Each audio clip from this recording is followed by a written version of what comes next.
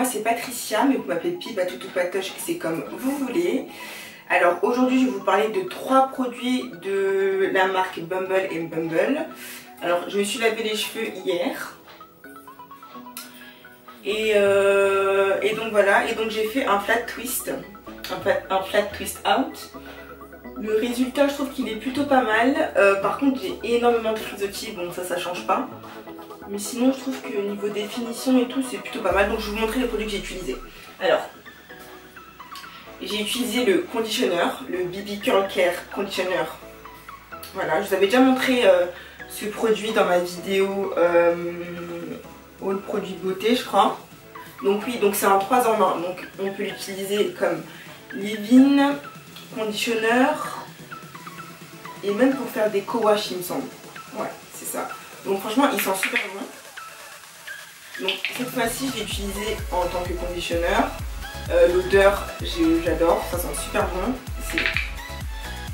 C'est fruité. Je sais pas, ça sent trop bon en tout cas. Bref, donc voilà, j'ai utilisé comme conditionneur.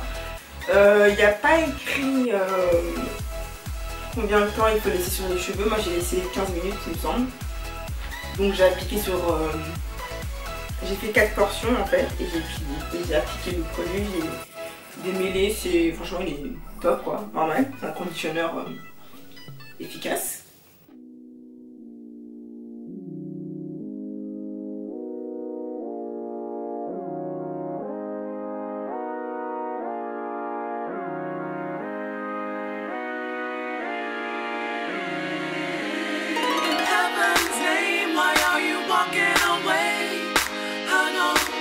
To your love.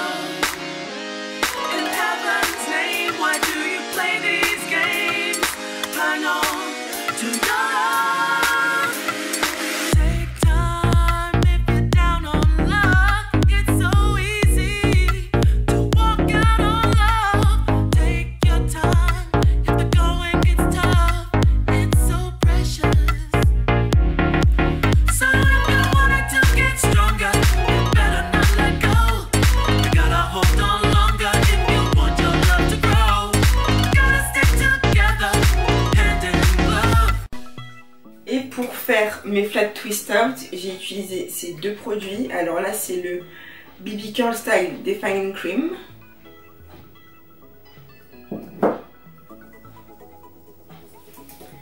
Et ça, c'est un gel, mais en fait c'est un gel avec de l'huile. J'ai trouvé le concept top. Parce qu'en général, quand on applique du gel sur nos cheveux, juste après, on met toujours euh, quelque chose de gras, donc un beurre ou une huile. Donc là, c'est deux en un en fait, donc c'est super top.